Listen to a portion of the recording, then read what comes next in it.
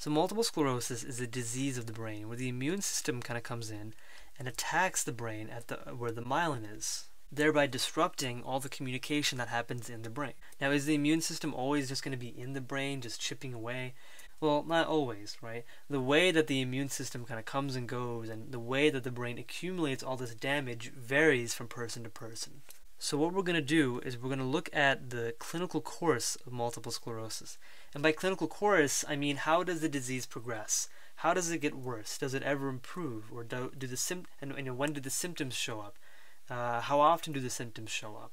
There are really four different types of MS, and each type is characterized by its own unique clinical course. So here I'm showing a graph, and on the x-axis is going to be time, right? And this will be over the course of the entire person's lifespan. And on the y-axis, we're just going to be looking at the severity of the disease. So what we're going to do is we're going to we're going to kind of trace the clinical course of each type of multiple sclerosis using this graph. So the first type of multiple sclerosis that I'm going to talk about is called relapsing remitting multiple sclerosis. So let's say all of a sudden there's a huge flare up of inflammation in the brain. Okay, let's say all of a sudden a lot of immune cells come in and they all begin to attack the brain collectively. So when this happens, the brain will start to accumulate damage and the severity of the of the disease will increase over time. And so then what happens is the immune system actually kind of stops attacking the brain and it stops damaging all that myelin so much. And so then this leaves the brain with the ability to kind of just repair all that myelin right? So the so the brain can actually repair itself to a limited degree. Now it's not really able to repair all the way, so you know the severity of the disease kind of doesn't it doesn't really go all the way down to zero or down to baseline over here. And then after a certain point, you're just left with this period of, of stability where nothing's happening, right? The immune system isn't coming into attack, the brain isn't healing itself anymore, it's just nothing happening. And then the immune system comes back and it attacks the brain some more. And then you're left with this increase in severity again. And then the immune system leaves, and then you're left with this this uh, this decrease in severity, followed by uh, another period of, of nothing happening. So what you can kind of see is a cycle, okay? You see a cycle in which at first the immune system attacks the brain, the symptoms flare up, and the, and the brain collects more damage. We call this a relapse. And then you see a case where the immune system stops attacking so much and the brain is allowed to heal itself. This is called a remission. And then you have this period of stability where nothing happens. So this is really why we call it relapsing, remitting multiple sclerosis.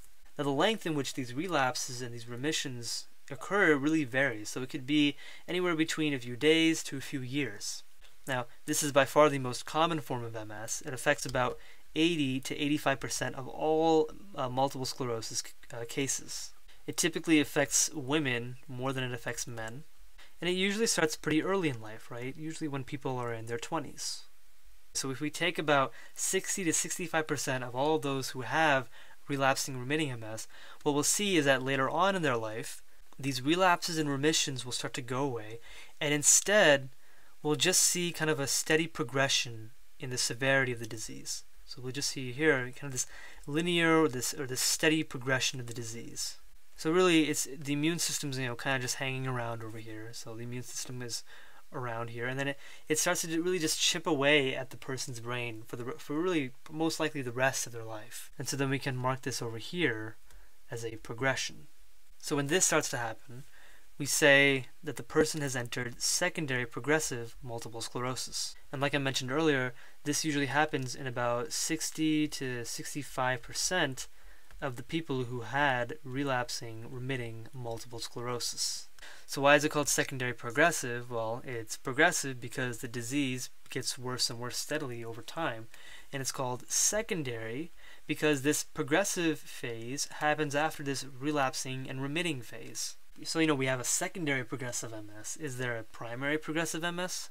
Well, yeah, there actually is one, and it's just simply called primary progressive multiple sclerosis.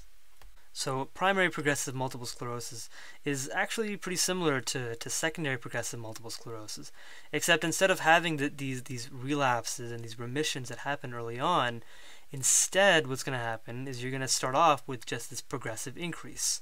So we're just going to see kind of a linear increase in the severity of the disease. So the brain is just steadily taking more and more damage because the immune system is kind of just sticking around and, atta and attacking it.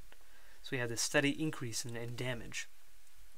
So primary progressive MS is actually pretty uncommon. It affects only about 10% of all the cases of MS. And because it only affects about 10% of all the cases, there aren't really that many treatment options available for it. At least not as many treatment options available for the uh, relapsing remitting form. And also unlike the relapsing remitting form, it affects men and women equally. And usually it starts a little bit later than, than the relapsing remitting form, usually about a decade later, so uh, in your 30s mostly. And so finally, there's actually one more form of multiple sclerosis, and it's actually the least common form of the disease. And we call it progressive relapsing multiple sclerosis. So remember you had that relapsing remitting form, and then you have the, both of those progressive forms. Progressive relapsing multiple sclerosis really takes the worst aspects of both of those. So maybe what you'll see is, you know, maybe you'll start off having this kind of light inflammation over here. So maybe maybe the disease will kind of start off progressively getting worse and worse. But then all of a sudden you'll see this kind of flare up where you get a lot of a lot more immune cells just that really begin to attack the, the brain. And when this happens, we enter a relapse. This can be followed by a remission, right? When all those immune cells kind of kind of start to go away but you know maybe there is some left over that'll continue this attack and kind of chip away at the brain. So unlike with our relapsing remitting form right over here where it's just kind of plateaued, instead the disease will will now progressively just get worse and worse. And then you may see another relapse, right, followed by another remission, and then followed by, you know, more progression. So really what we're seeing is kind of a combination of all these all these forms of multiple sclerosis in the form of progressive relapsing multiple sclerosis. So as I mentioned earlier, this is probably the least common form. You know, it only affects about 5% of all cases. So overall, you know, I've kind of shown you uh, four different types of multiple sclerosis, right? And it's really important to kind of be aware of these four different types because when one is trying to diagnose the disease, they really need to be aware of, well, which type does this person have?